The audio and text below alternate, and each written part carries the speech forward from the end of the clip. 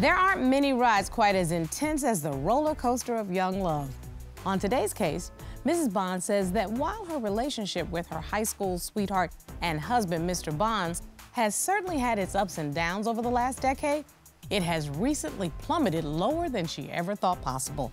Mrs. Bond says that her husband's excessive drinking and off the rails behavior have gotten so out of control that she's ready to put the brakes on this relationship for good if he can't figure out how to get his addiction on track. Let's hear their case.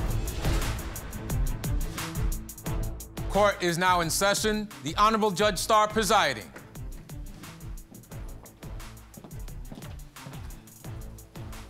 Your Honor, this is the case of Bonds versus Bonds. Thank you very much.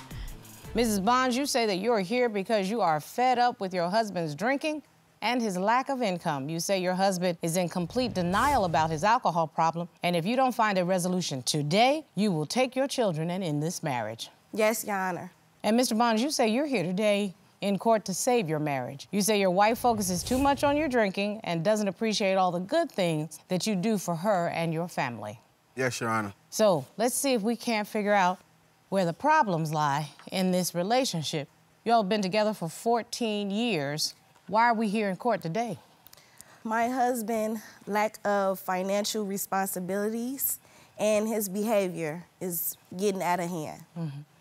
Okay, so I'm gonna come on over here to Mr. Bonds. What say you to your wife's allegations? Every relationship has like its ups and downs, and I feel like the severity of our problems uh, isn't enough to just end our marriage. I feel like with a little bit of help, we could save this relationship. So, Mrs. Bonds, I hear what your husband has said. You have to bring me back to where you all first met and how we got here after 14 years. Well, we met um, through family members, young love. You were teenagers when you met? Yes. Was he your first boyfriend? Pretty much, yeah. So how'd you get together? How'd you finally decide to, you know, make it permanent? Um, we was friends before mm -hmm. anything. So we were just always hanging out. It was fun. We had a really good time. We built a really good friendship. Mm -hmm. He wrote me a love letter, um, a poem, and he told me how much he, he liked me and he wanted to be with me. And we've been together ever since. So 14 years means that there's a lot at stake, and we're not just talking about years and time together. You all have two children. Yes, we do. Two boys. You started off by saying his lack of income has really become a big issue. Yes, yeah. How did that happen? After um, the world opened back up oh. due to COVID, okay. It was time to go back to work. He just decided on his own that he was going to stay home and hold the house down while I work. But that's not entirely true. We made a compromise. For one, her job, uh, she had to work overnight. I usually do my snow removal in the wintertime where that would be my normal income during that time. But I put that on hold because, for one, we have a two-year-old, and we don't have anybody to watch our two-year-old, you know, all the time. So I ended up working part-time. That was the compromise, and I would also stay at home and take care of everything at home. Was this is, a conversation that the two of you we, all had and had made this, a plan? We had this conversation. No. And I was still working. Yes, we did have this conversation. No. We had it. And I was still working part-time while I was taking care of the house, making sure it was clean, making sure the kids taken care of, helping them with their homework, spending time with them, also making sure that she had food when she came home, meals and all that stuff. But here's my we question, did. Mr. Bonds, it sounds like you have determined that the, quote, best thing for your family is for you to be the stay-at-home caregiver, whereas... That was not the original agreement. We was, because her hours changed, that changed everything as far as what I would usually do. So I compromised so that she could because this is what she wanted to do. This is her dream job. So I took an L for her. And it was no way that both of us could work full time. He decided to do that on his own. I didn't ask him. I told him, don't worry about the kids. Just find a job. But I did do. find a job. We didn't have... It was part-time, though. But wait a minute. Most families still do need double income. Yes. But her job is only seasonal. So when that was over, I was going to go back and work full time. It was only... So how long has this been going on? It's kind of been going downhill basically since we got married. We've been married for almost four years. So. And there was never a time when it was basically some consistent income on, on the part of your husband? Yes, it was. We Everything was 50-50. We went half on everything. Mm -hmm. I felt like he felt like I got I have a good job and he just kind of slacked a little bit and let me take control of paying the bills. So right now you're starting to feel resentment that all the financial burden of the family is falling on you. Yes. May I say something, Your Honor? Yes, there of was, course. There was no way that I was gonna be able to work a full-time job and she work a full-time job with her hours with us having a two-year-old. We didn't have anybody to watch our two-year-old on a consistent basis. I mean, we was almost virtually impossible. I mean, it was still in the midst of COVID. We couldn't put him in the daycare. So it was it was a compromise that I had to do. It wasn't something that I chose to do. Okay, but Mr. Bonds, let me just find out what's going on right now. I'm about to be working full-time and she's she's off. Is your husband about to take over the responsibility financially, Ms. Bonds? Because you look like you got attitude right now. You showing, looking at me like, no, it's not.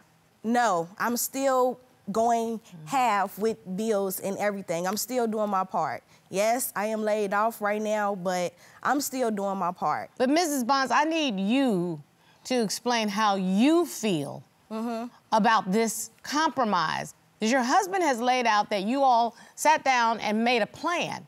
What is the dynamic in your household now? That you're the one that bears the financial burden? I pay most of the bills, yes. Okay. Is that something that you want to continue doing? No. Okay, Mr. Bonds, your wife is not interested in bearing the entire financial burden. This So is- we need to look at whether or not there are going to be options for taking care of your children because that is something that has to happen. Do you have a plan of action for how to prepare for childcare if both of you are working? What would be your plan of action?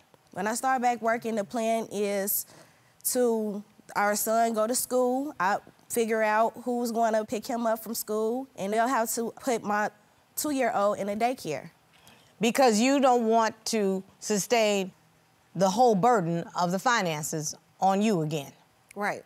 So right now, Mr. Bonds, are you prepared to go to work full time or no? Yes, I start my full-time job next month. So we've already talked about plans for, you know, moving forward. He had his own landscaping business. Clients will call his phone and say, hey, when are you going to do this? And he just be at home chilling, watching TV, drinking. Okay, Mr. Bonds, now I'm finally getting what the real allegation is. I feel like past couple months I've learned to control it. No, no, there is no controlling. If you are an alcoholic, that's an illness and you need to get help for it.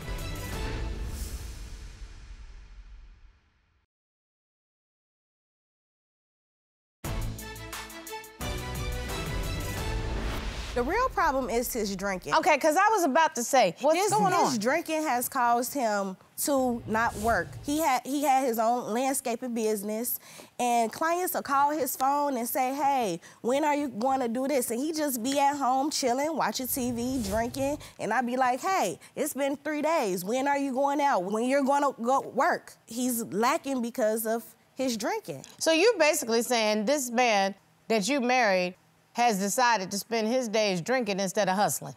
Yes. Okay, Mr. Bonds, now I'm finally getting what the real allegation is. I feel like I don't. I have a drinking problem. Sometimes you can get control, but I really like past couple months I've learned to control it. No, no, there is no controlling. If you are an alcoholic, that's an illness and you need to get help for it. Do you Right. agree that you drink to excess? Yes, I do. Okay, so then tell me what you are doing in order to resolve that, sir. Well, I really haven't been drinking. I've been trying to get my faith right with God. Instead of drinking, I'll try to do healthy things. Like I'll eat healthier, I'll exercise. Have you tried rehab? I haven't tried rehab because I feel like I, right now I can't afford to go to rehab. I have to work. I have to provide. For my Alcoholics Anonymous is, is free. Right. I've been um, trying to do some AA meetings, but. What do you mean you're trying to do? Because you ain't working. So help me to understand why, why you can't try. You right can't go do that. I am working right now. I'm in a transition of going from one job to another to my full-time job. So I'm then why aren't you at the AA on a regular basis? If you know you drink to excess, you know it's an issue with your family, why aren't you at AA on a regular basis? I've been. I ain't gonna lie. I've been procrastinating a little bit, but I'm. I'm definitely. Not a little bit, a lot bit. You you've chosen not to do it. I feel like sometimes I just drink excess, not all the time. That's called the definition of an alcoholic. When you drink to excess, that's an alcoholic. Okay?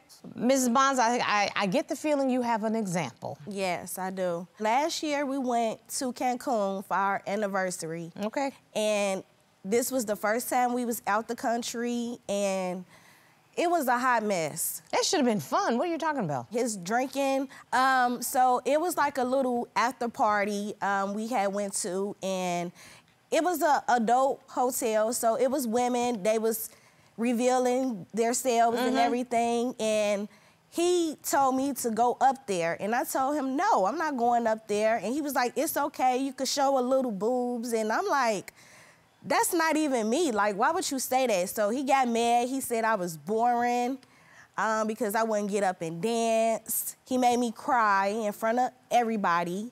Um, so we decided to leave, and I didn't feel him behind me when we was walking. And I turned around and he threw up all on the floor just so embarrassing. The next day, he just don't know how to just relax and, and, and drink. And During socially the- drink. Yes. And, And drinking costs money. everything was free. He wound up spending $1,500. How you spend fifteen hundred at, at an all inclusive? Well, for one, it wasn't 15, it was 1200 And then most of it went for her. I brought her like a bracelet that was like, it was like 400 I bought her some Michael Kors shades, that was like 300 Then I bought myself some Ray-Bans, was like 300 So like, we both made bad financial decisions. Like, she always complaining about, Most of most of the Well, I bill went to him popping champagne. He No, don't it even didn't. That was only he don't even drink champagne. 400 out of 1200 out of 1200 that's not most of it, that's only a third He was popping champagne. God. Mr. Mr. was Bonds, Mrs. Bonds, let me just ask a question. Throughout COVID, everybody had some financial challenges, but you thought it was smart to go spend money in Cancun. It was smart to do the all inclusive because you're gonna get your drinks free, you're gonna get your food free, get your activities free. Correct. Why you need to spend extra money? I work could- hard and I pay my bills first, and then I play later. But you still make bad financial. I feel like it's not my fault that we're financially struggling. I feel like it's both of our fault because from the time we've been together for 14 years, we don't have a financial plan. We it's like always her money and my money. This is just something that just, that just happened recent. We, Mrs. Bond said this is this financial situation has been going on for three years, and I can't been- imagine I've always been working. I've always had a job. We just never we never built our money together. you have a six-year-old and a two-year-old. Yes, Your Honor. All of this sounds like toxicity around these kids. He sent me a text message and he promised he wasn't going to drink again. No more alcohol, period. Has there been alcohol since then? Yes. But like very little. It, No, no, no, no, no. What you write? No more alcohol, period. You see that, Robert? Is there another page to this that says, except when I've been home with the kids all day, I can have another drink? no, Your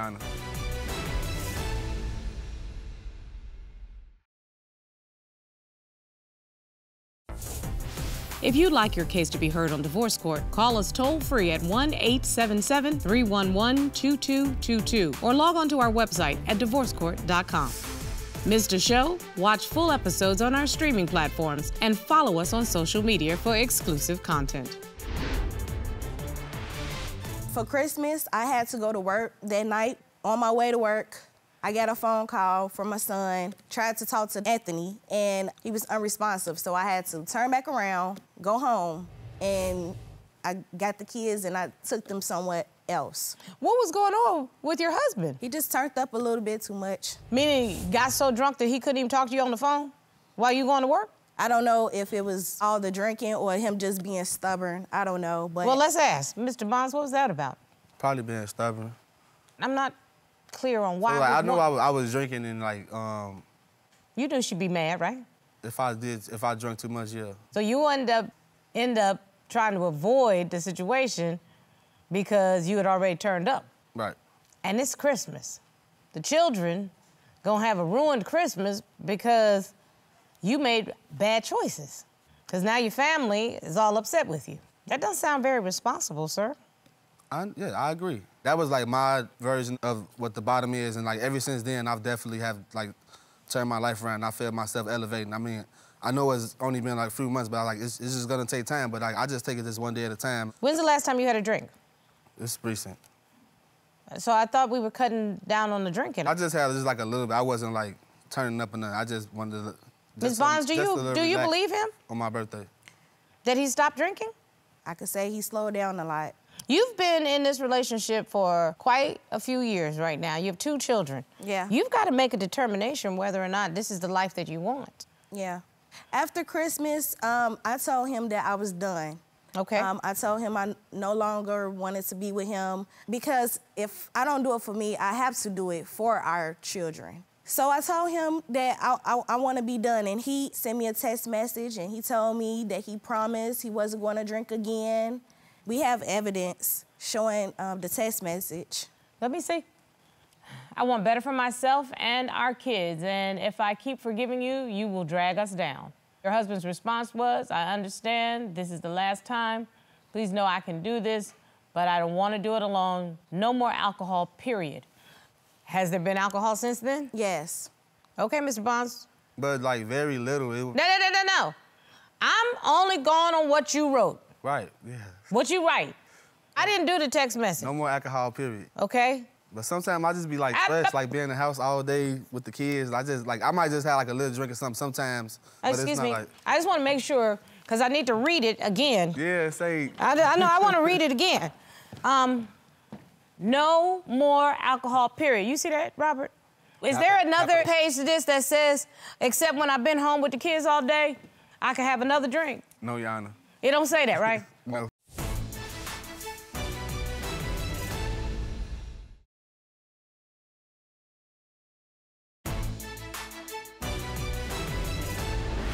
Your Honor, my husband, he is Mm. a good man.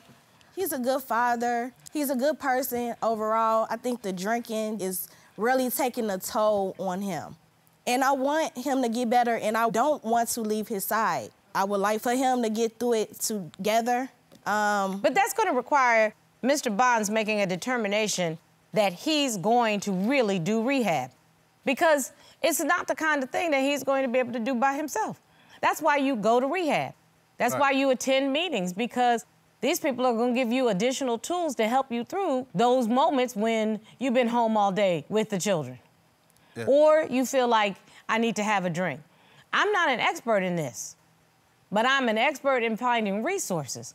So I'm asking you right now, Mr. Bonds, are you committed to actually stopping drinking, or are you the way you sort of nonchalantly said to me? I'm eh, committed. I'm committed. So what are you prepared to do? I'll go to rehab and go to AA meetings. Ms. Bonds, you believe him?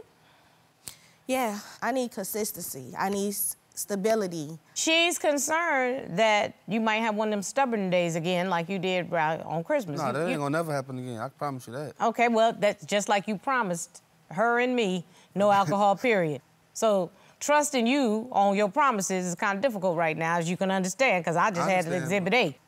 To rebuild the trust in a relationship, you're gonna have to have a willingness to work on the relationship. If you're not gonna do it, don't promise it. So Yes, I'm ma'am. gonna ask you again, would you be willing to participate in an alcoholic rehabilitation program and make a commitment to it? Would you be willing to do that? Yes, Your Honor. Mrs. Bonds, Yes. if I can provide you all with the resources for an alcohol rehabilitation program that will cause your husband to have to have some accountability, would you want to be there with him? yes. So this relationship can be saved. But Ms. Bond, she needs to be able to rely on you, and you need to be the man that your children can grow up to respect. And that's I'm trying to be that person. You Okay. know, because I never like had a father in my life, you know, or I didn't have like examples of stuff like that. I'm still learning as I'm going on how to be a good father or a good husband. And I Well, feel the like I'm first thing you got to do is not lie. All right. And the second thing is you got to keep your promises. Yes, Your Honor. Ms. Bonds, Yes, Your Honor. keep me informed. I'm gonna need you to step up. I'm gonna step up. Uh, I'm gonna step out. I got you. All right. I'm gonna do it right this time. Okay. I have to tell you, addiction is a powerful, powerful thing. Yeah. And it's breaking up families, especially in this pandemic. Right. When you've been together that long, Mm-hmm. yeah, it's addiction, but they still have that sense of hope. And that powerful motivation is those two little kids. Right. But he's got to be just as motivated to get clean so that he can be that good role model because it is not a good role model Right. to pass out to the point where your six year old can't wake you up. Right. Do it for yourself, do it for your family, and do it for your wife. Uh, yeah. Thank you.